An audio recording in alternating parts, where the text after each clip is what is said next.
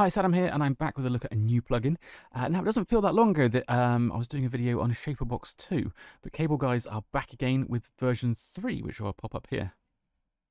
As you can see, it looks a little different from version 2, which I have here, um, with updated interface and a different browser system. They have also filled in this gap down here with a brand new liquid shaper to make nine different shapers in all. As well as the new shaper, they've added in audio triggering, allowing you to trigger any shaper with any sound. Um, the technology from that is taken from the Kickstart 2 plugin, which is also worth checking out. So Shaperbox 2 was already capable of some pretty interesting things, um, but Shaperbox 3 expands that even further. So let's check it out, check out the new features and see what it sounds like. So first, let's check out that audio triggering system. Um, so I've got here a drum loop.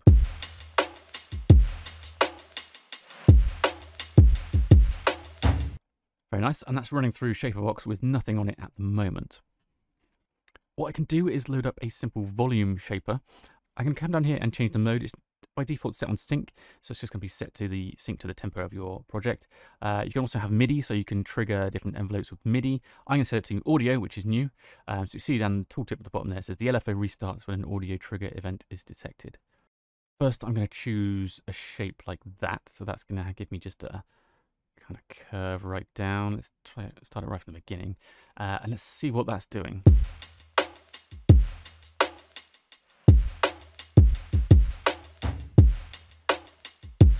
So you can see this waveform here.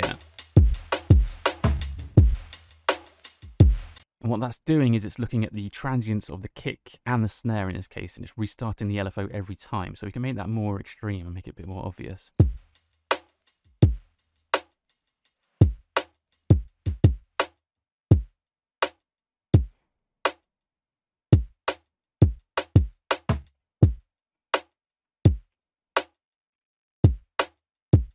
Now, I made that so extreme there, it's actually cut out the hi-hat from the loop completely, um, which might be a useful utility thing, um, or you can obviously use that very creatively as well.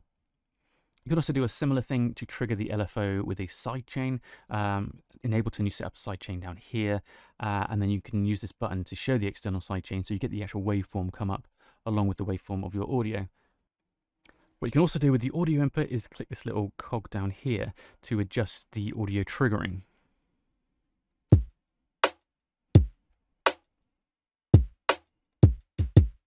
So you get this really useful visual. You can see exactly where those triggering points are hitting. What I can do is take this down, take the threshold down.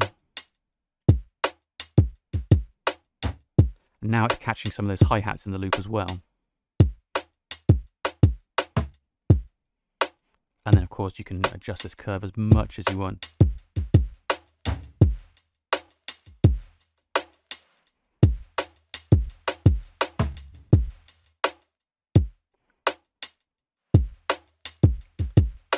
Editing of the curves has been improved in this version as well. Um, it's a lot simpler now. You can do things like double clicking and you can drag over sections to move them. Um, there's some really just useful quality of life features. So that's a really basic way to use the audio triggering, which is basically acting as kind of transient shaper.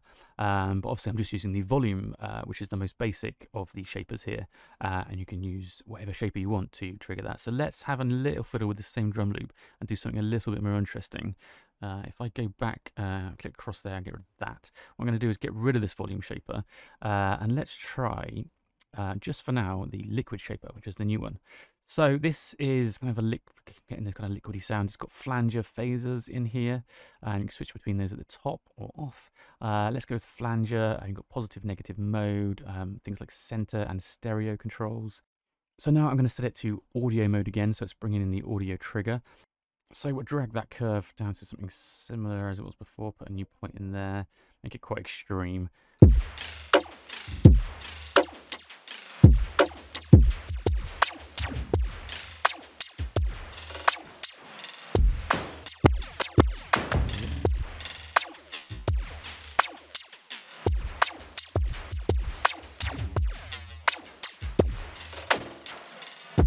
Make that really wide with the stereo control.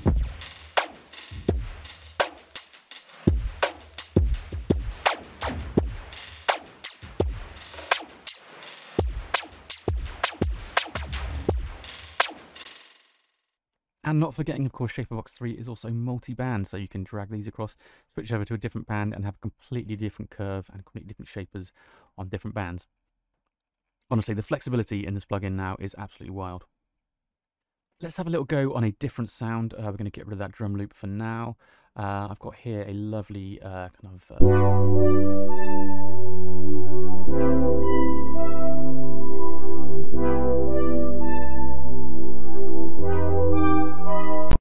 lovely chilled out synth line there. Uh, what I'm going to do on this one is just go into the presets. Um, so I really like this new preset system. Um, you've got the showcase, so it's showing you some of the cool new stuff, uh, and then all. Um, and what I really like about it is the kind of tagging system they've got. So these different colors respond to the different uh, shapers involved. So you can see exactly which one each uh, preset is using. Uh, and they're arranged into categories. So let's try something rhythmic for now. Um, let's go for a chop and gate, uh, and then the new ones are new plugins. Um, let's try something out that's got uh, quite a lot of shapers on there. Let's try triplet swing. So this one's using a filter. Um, if I click across, you can see the different curves in each one.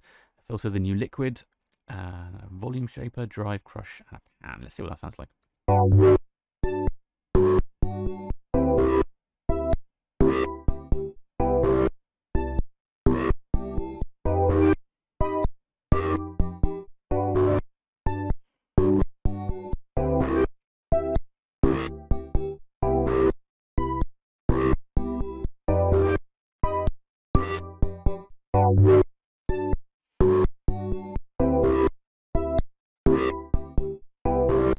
That's giving that loop a completely different vibe and completely different feel. Um, and it's doing a lot of different things at once there. It's doing um, yeah automation on so many different aspects of that sound. Let's jump across um, to another one, kind of more another another rhythmic one. Um, gated sequence.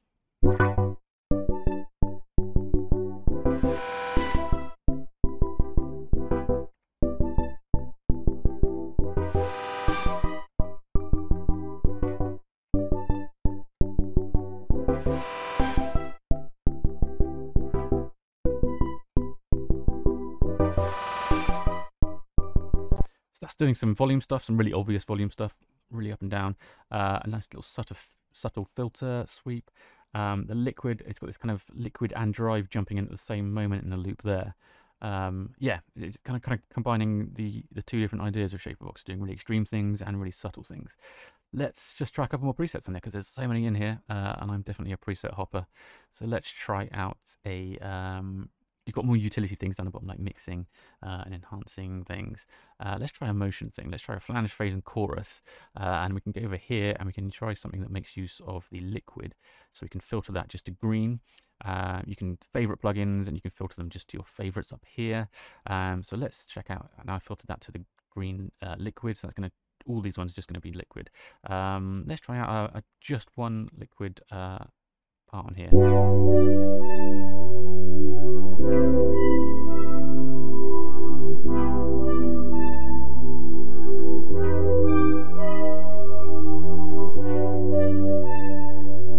That one's very subtle, just adding in a little bit of uh, phasing in there. Um, let's try Phasey Stereo Widener.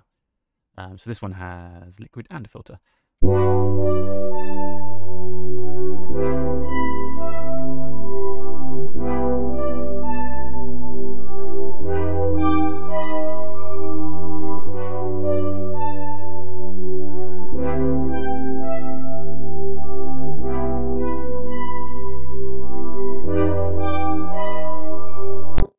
So you can see on that, it's making use of the multi-band mode. So the liquid, um, there's not huge curves going on, um, but it has got different uh, amounts of processing in, involved there. So it's on the low, uh, it's up here, on the mid, it's way down the bottom, and on the high, it's a little bit further up. So it's putting the phaser uh, in different amounts on different parts uh, of the uh, of the signal there. Uh, in fact, on that one, it's off, and there's a flanger and then a phaser. Um, and there's a filter going on, um, doing different things up there, completely open. And just on the highs, it's taking those down a notch. So you can see you can do absolutely um, super in-depth stuff with this. Um, you can tweak, you can get creative as, as much as possible. Um, but it's really useful for just basic um, side chaining, basic kind of track spacing stuff. but I think my advice is just to jump into these presets and have a lot of fun uh, and go crazy drawing some curves and uh, see what sounds you can make. Shaperbox 3 is out now. Uh, there's a demo available at cableguys.com and check out musicradar.com for more info from us.